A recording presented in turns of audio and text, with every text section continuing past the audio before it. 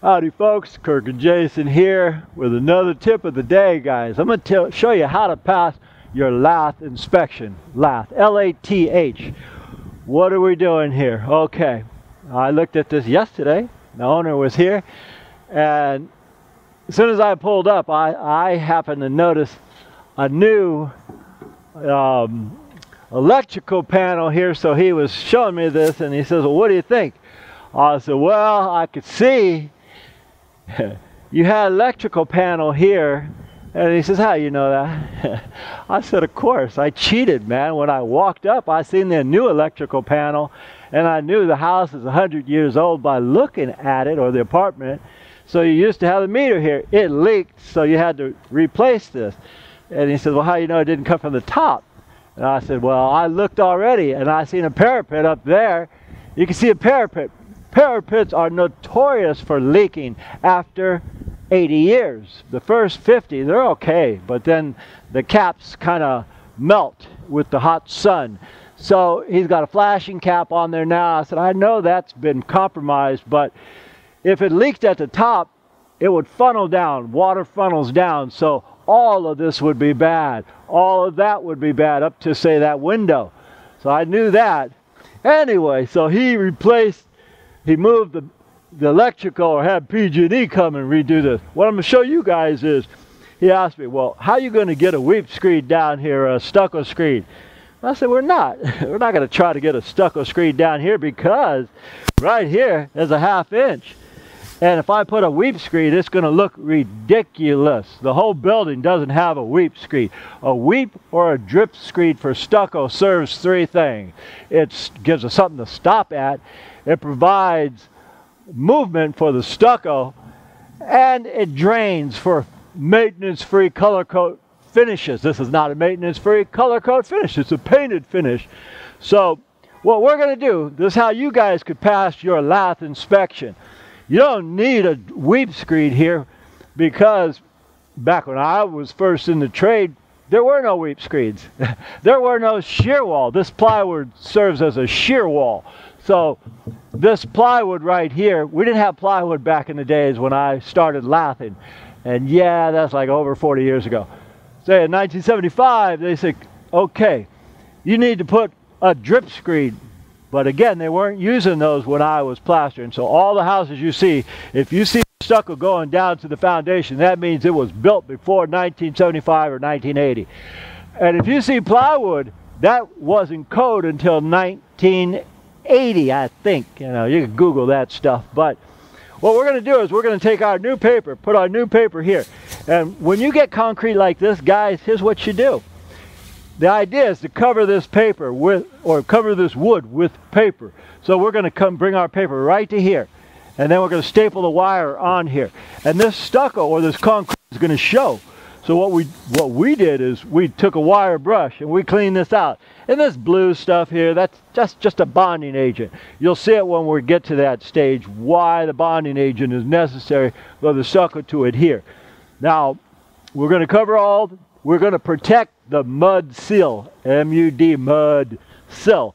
So we're going to protect the mud sill, take the paper up. And when, when we get to this area here, I was doing this and the owner said, why are you doing that? And I said, well, we're not, I can see, I just want to, I don't want to try to move the stucco, but I want to raise it up like an eighth of an inch. That's all, because we, we don't want to beat that up.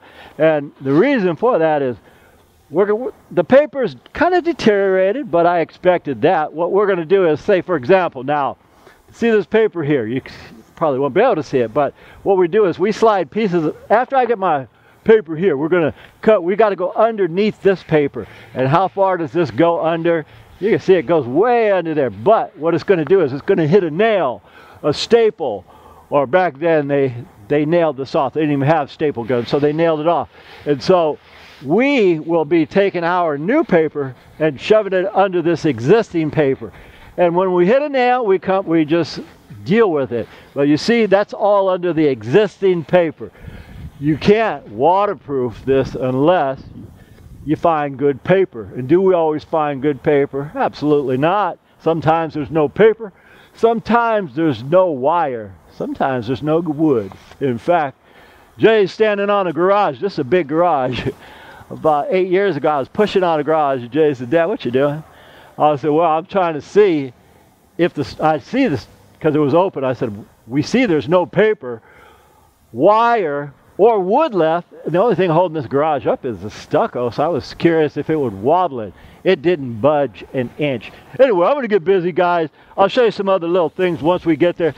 Uh, what you can't see because we're on the roof is I'm going to take the paper all the way here and where we got this hole here we shove paper the exact same way I did under here in here and then we with caulking and there's you guys usually see me using two caulkings it, one is this nasty stuff here Sikaflex it's the best caulking because it's an adhesive sealant now this stuff is for cracks and you see me using this a lot too so we're going to go ahead and get started, paper this up, and when we get to the areas, say like uh, where these steel straps are, when I got the paper on, I take a chalk and I mark it. Why? Because when I use this gun here, if I don't know this strap is here or that strap, I'll hit it and that staple will bounce off and hit me in the face. And yeah, I almost lost an eye once.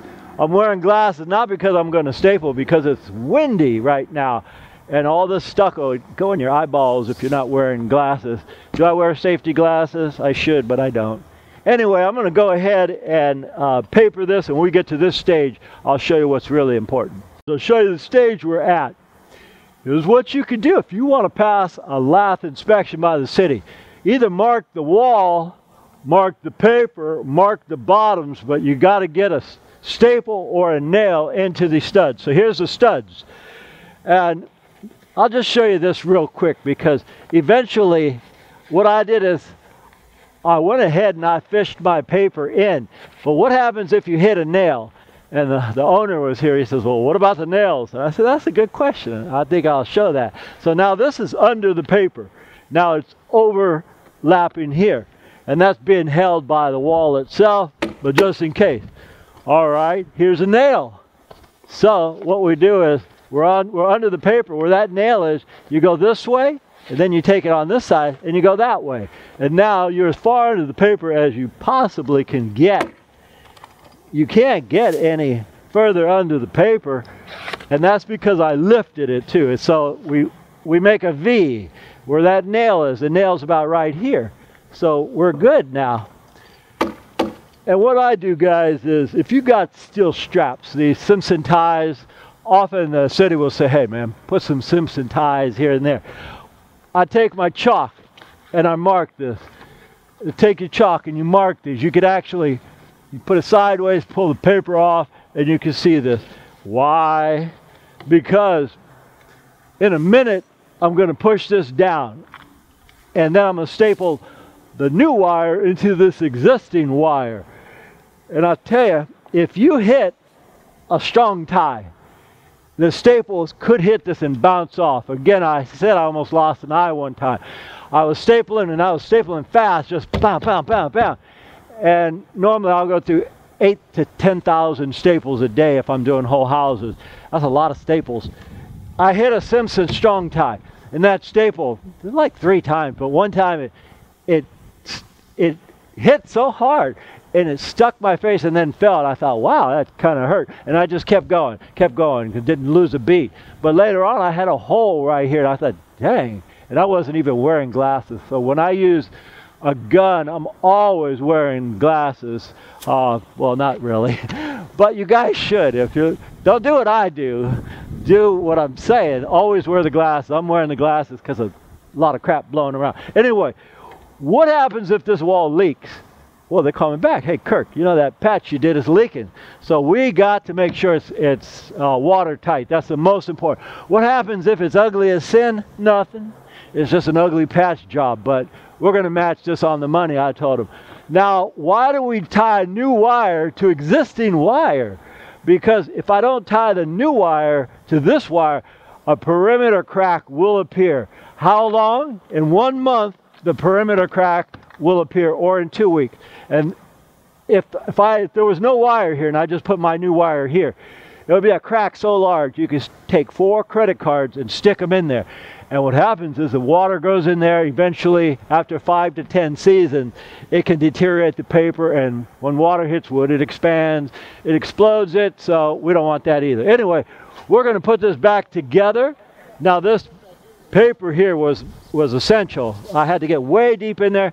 I'm going to take some of this uh, this polyurethane now and put a couple tubes here and on the other side. When we get to the wire, that's the last part. I'll show you guys how to do that and why it's important too. Last thing I'll explain since we're on this uh, topic is uh, staples or nails every six inches. Every six inches on the stud to account for the square inch per uh, ratio. Anyway, uh, when you do this, some guys they staple so flat that we we don't have the luxury of when we do the cement work of having it mushroom in back of it or be self-furred. So don't get your wire super flat. The idea is the stucco's got to go behind this. And, and again, I say that. In this video, in the description, I'll, I'll put a link of a job we did. A guy laughed at and he just, his face, it, no pretty way to say it. He did a horrible job because it was, the wire was so flat. We took like hours, me, Lou, and Jay pulling it all out like this because it had no fur. So every six inches. And another thing too, well, last thing, guys. I just put some earplugs in. I just found some toilet paper, rolled it up, and stuck it in my ear because the truck I've got is the new truck. It's not my old one where I had twice as much space my ears ring because for 40 years I've been using a staple gun. And listen, that gets loud. So wear something in your ears if you're going to use a staple gun. And last thing I'll show you is because I got a different truck than my monster truck, we forgot corners. My other truck used to hold five times as much uh, thing. So Jay bent this right here and I just used this guy's guardrail. He's got a door he's going to put in for a template. That means this got to line up. That means this got to line up. That means the bottom's got to line up. And back when they did this job a hundred years ago, they didn't even have corner aid. That wasn't even invented until about 60 years ago. So this is our guide to make a corner. Anyway, the next time you see us, uh, we'll probably be uh, doing the stucco work on this. Uh, I'm sure it'll it'll pass inspection. We've had in the last 40 years two jobs fail. Why? Because the wire was put on vertically. You can't do that, guys. It's got to go horizontally if you want it to pass. And we had a job like 30 years ago. We had the nails in it and we bent them downward. Uh, you can't do that either. If you're going to put a nail in it and to hold like the concrete down here, we were trying to hold, it's actually, I'll, I'll, point this out. We were trying to hold the wire to the concrete. So we put a big 16 penny nail in and bent it down so that when we plaster it, the wire wasn't passed. You guys would just use something like what I did. Uh, a magnet like this for half inch nail or half inch concrete nail to hold that in there and put some of the bottom fasten it down. Anyway, guys, uh, I think that's about all the stuff you need to know about lathing. But in the link also, I'll put the fastest lathing technique for a wall. How do I know? Because we created it for that reason. This, we got a lot of obstacles in the way, so it may not be the best to show you how, but we got a big wall is less than two minutes. It'll show you everything you need to know. Anyway, my name is Kirk, Jason on the camera. We thank you guys for watching. And as usual, we'll see you guys on the next one. All right, folks. As always, thank you for watching another Giordano Stucco video. If you like what we do, please like and subscribe so we can keep making them. And as always, we'll, we'll see you on the next one. one.